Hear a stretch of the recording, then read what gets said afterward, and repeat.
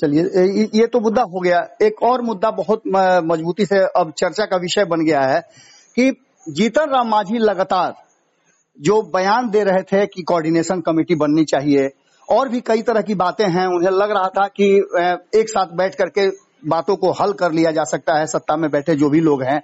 इन सब बातों के बाद नीतीश कुमार जी दिल्ली जाने से पहले जीतन राम मांझी जी से बात घंटों करते हैं। उसके बाद बाहर निकल करके चुप्पी साध लेते हैं, और फिर अब दिल्ली में नीतीश कुमार हैं और जीतन राम मांझी भी दिल्ली प्रस्थान कर गए हैं। इसके पीछे क्या राजनीतिक साजिश है या जो आपके पार्टी की तरफ़ से कहा जा रहा है कि वो अपना इलाज के लिए गए हैं? देखिए आपने देखा था कि कुछ दिन पहले जीतन राम मांझी जी को कोविड हो गया था। उसके उपरांत उनके स्वास्थ्य लगातार उनका गिरावट आ रही थी स्वास्थ्य में। तो अब वो वो दिल्ली पहुँचे हैं दिल्ली में पहुँच करके अपना इलाज करा रहे हैं। हालाँकि राजनेता हैं बड़े नेता हैं निसंदेह दिल्ली में बड़े नेताओं से उनकी मुलाकात भी होगी। इसके कोई सियासी मायने नहीं है। जी।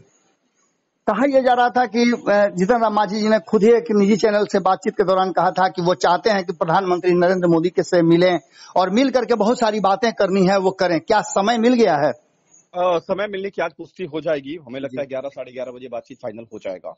और अगर समय मिलता है तो निसंदेह दलितों के अकलियतों के मजलूमों के मामले पर वो बातचीत करना चाह रहे हैं।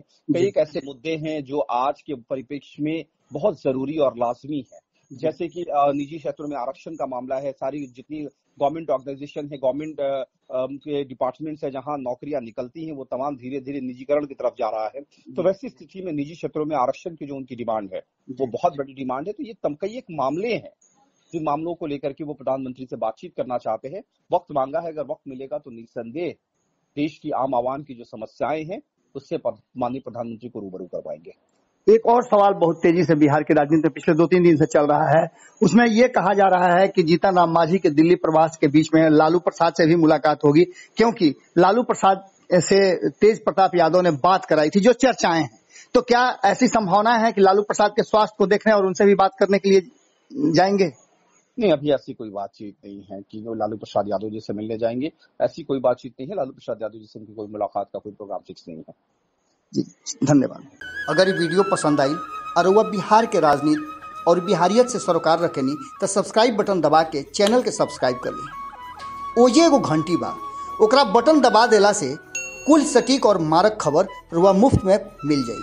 अगर रुआ पत्रकारिता के हमनी के नया प्रयोग में सहयोग कर चाहतनी तो ज्वाइन बटन दबा दी। पेटीएम नंबर नोट कर ली nine three eight six eight one six seven double zero. धन्यवाद।